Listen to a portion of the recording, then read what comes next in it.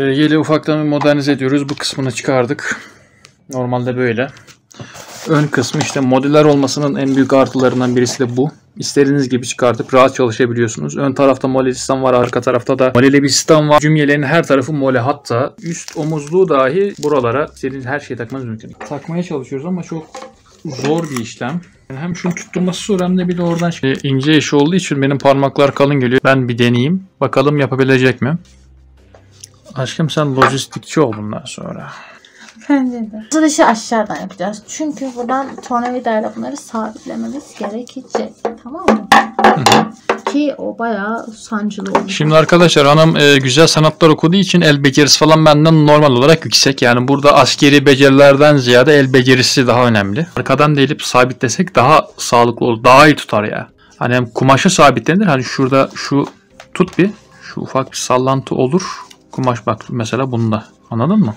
O ikisini birleştirince olmaz bence. Öyle mi dersin? Ya çünkü bu tek başına sallansa bile bu sallanmadıkça sallanmaz. İkisi de sallanır. Sallanıyor. O da sallanmayacak. Hem- Evet, O yüzden bence bilirsin. delelim yapabileceksek. Ee, vidayla tuttuğumuz zaman hem kumaş da tutar bunu anladın mı? Hiç sallanmaz bu sefer. Anladım ama onu vidanın delmesi için girdiğimiz zaman orası zaten gevşeyecek. Orada tutacak bir şey kalmayacak. Tamam öyle de şu hareketi yapmaz asla. Çünkü ufak bir delikten çıkacak ya köşelerine çarpar. Anladın mı demek Bunun boyu istediğimi? ne olacak? Neyi? Belki boyu yetmez o zaman. Çünkü kumaş kalın. Bunun, zaten bunun yarısı kadar kumaş var. İcamında deleriz. Ya sıkıştırır kumaşın arasına sıkışır. Ama sabit olur yani. Onun mesafesi yine yeterli. Öyle yapalım. Şu kadar girmesi gerekirken şu kadar girer. Ama yine o da yeterli olur. Şu kadar girince bu aralıklarla kumaş olacak. Yani sıkışmış bir yapı olacak. Anladım ama bak burada bunun payını uzun unutuyorsun. Zaten şurada kumaş var ya. Ama onu sonradan döndürebiliriz. İstediğin gibi tak şimdi. Yazmayı istedin de. Döndürmek gibisin birazcık çok çabuk. Emin misin? İki tane almayalım. Paylaşmak güzeldir. Darlaymışsın ya. Aşkım. Üstünü niye çıkardın? Benim ölen dedemin rüyasına girmiş. Köydeki evin girişinin altında yatır varmış. He. Daha sonra girişi arka tarafa aldılar. Oradan yeni kapı açtılar. Almışlar yani. İnsanın işleri güçleri yok. Bak ne yapıyor biliyor musun? Canı bir şey istiyor tamam mı? İnsanlar da onu yapmaya yanaşmıyor. Diyor ki bak bak bak. bak, rüya görüyorum. Enayiler de inanıyor yapıyorlar. Ya rüya görmüş olabilir de rüyadan yola çıkılmaz ki. Rahatun da haydi. Aa, bırak beni. İnacı ölme bebeğim. Ben bir şey göremiyorum ki gözüm kör benim. Aşağıya gelmemiş bu aralar. Biraz yukarıda duruyor. Bu yukarıda durduğu için. İtince o aşağı gidecek. Vallahi. Yani bunu çeviriyorum ya alt taraftaki vida da muhtemelen bununla aynı dönüşü yapıyor. Aşağıda itebilmeliyiz ya. Bu çok aşağı inemez. Bak daha gelmemiş bile. Sekler sürekli düşmez. Evet. Kara aklına uymayacağınız. Tabii benim güzel biricik Evet, aklım olmasaydı bunu takamazdık. Ay bebeğim gel buraya gel. Aşkım. Amına koy lan. Amına koy aldırma kellenü. Bacak bacakta. Kadir Baba Bacak Show. Bunu YouTube'da yayınlarsınız. Kadir Baba Bacak Show diye. Ya. Teşekkür Bak önce. Aşk kuşum. E Canım. Patisini öptüm. Bir tanem. Patisini öptüm. Mua. Bir tanesi. Canım aşk. Oh, Canım aşkışım.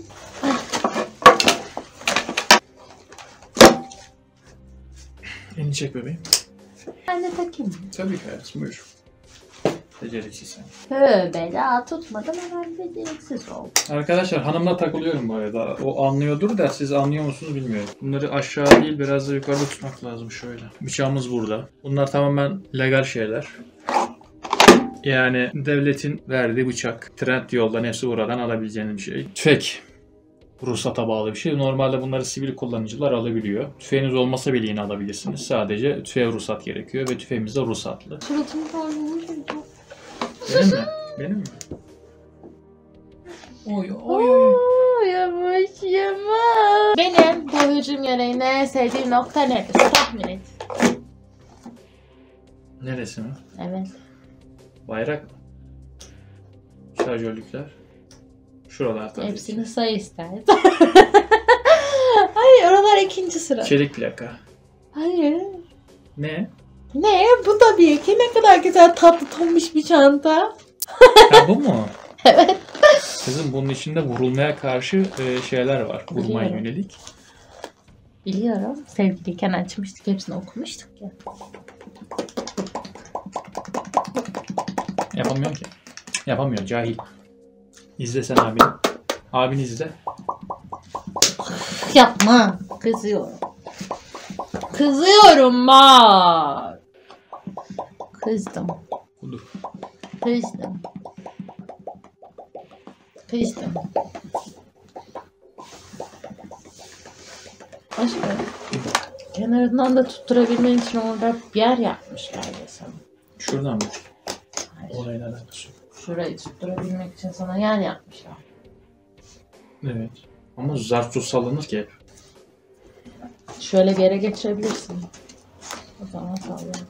Buraya geçirdin de sallanacak hep bu. Aşkım geçiremiyorum. Düşebilir ya Hangi koşarken. Buradaki. Biraz daha sıkı yapsan oraya zor girse, zor çıksa. Plakaya falan hepsini çıkarman gerekiyor. Şunu şunu. Öyle de orayı dikmek için diyorum. Şu Ya alt. şunu çıkar. Plakayı mı? Hı. Aşkım ne alakası var? Şunu şöyle çekeceksin. Kendine doğru. L gibi bir şey yapacaksın. Öyle Oradan olmaz. dikeceksin. Onu şuradan şuraya yere dikmen lazım. Şöyle yaptın. Şuradan dikeceksin. Şöyle. Öyle de olur. Birleştirip. Neyse bence gayet güzel oldu. Sonuç olarak eşime fazladan mermi çıktı herhangi bir durumda. Ben gayet mutluyum. Bu kadar. Kısaca size yapım aşamalarını gösterdim. Peki hücum yeleğimizde neler değişti? Her şeyden önce kemerden ziyade tabancamı hücum yeleğime aldım. Hücum yeleğini daha çok aktif kullanıyorum. Hücum kemerimi çok fazla kullanmadığımdan ötürü buraya almak istemedim. Arkadaşlar kemerimiz metal bir tokaya sahip. Metal tokası olması nedeniyle söküp takması son derece kolay ve pratik.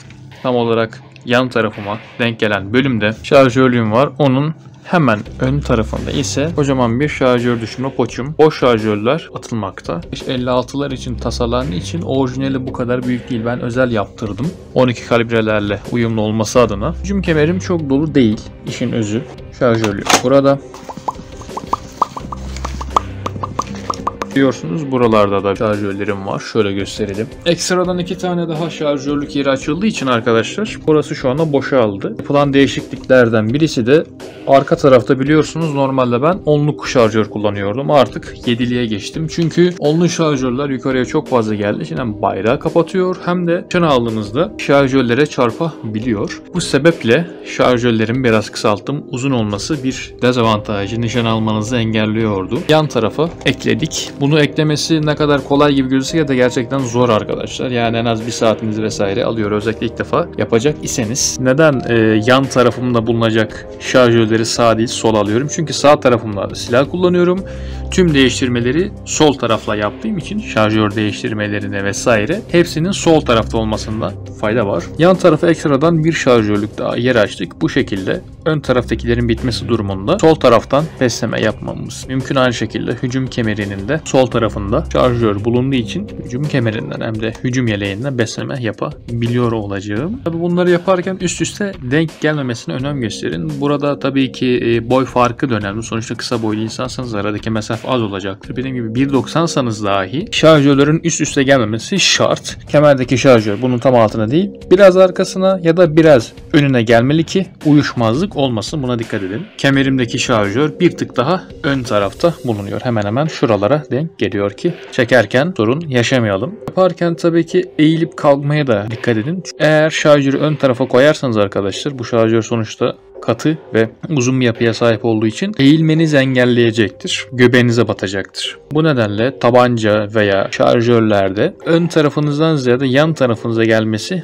daha avantajlı. Aksi takdirde dediğim gibi eğilmenizi bu engelleyecektir. Oranıza buranıza batacaktır. Bıçağı çıkarttık. Bıçak için yeni bir yer düşünüyoruz arkadaşlar. Hatırlıyorsanız eskiden bıçak tabancanın orasındaydı. Bıçağı çıkartıp tabancamı ben buraya koymayı uygun gördüm. Tabi buradan çıkartılıp hücum kemerine de takılabilir. Yeleğimin yan taraflarında elastik bir yapı bulunmaktaydı. Tabancamı sıkıştırdım. Yeleğimizin ön tarafında bir balistik plaka olduğu için nispeten daha kolay oldu yapması. Sonuçta eğilip bükülmeyen bir yapı. 12 kalibre kullandığımız için şarjörlerimiz buraya uymuyor. İkisi zaten zor sığdı. Haliyle arka tarafta iki, ön tarafa da ekstradan bir derya poçu bağlayarak dörtlü şekilde kullanabildim. Aynı zamanda sol tarafıma da aldığım için hücum yeleğimde beşli kullanıyorum. Hücum kemerinde de bir tane olduğu için 6 şarjör kullanmak mümkün. Yan tarafa sağ tarafa alabilirsiniz. İsterseniz biz onu da denedik. Düşündük hatta bir tane daha arttı bu poçtan. İkili noktaya da şarjörlük takılabilmekte. Bir takılırsa sizin hareket kabiliyetinizi çok engelleyecektir. Elimizden geldiğince hem kullanılabilir hem de şarjör kapasitesi aynı fazla konfigürasyon yapmaya çalıştık. Elimizden bu geldi ve gayet başarılı olduğunu da ben şahsen düşünüyorum. Hem e, taktik kullanıma uygun hem de operasyonel olarak uygun olduğunu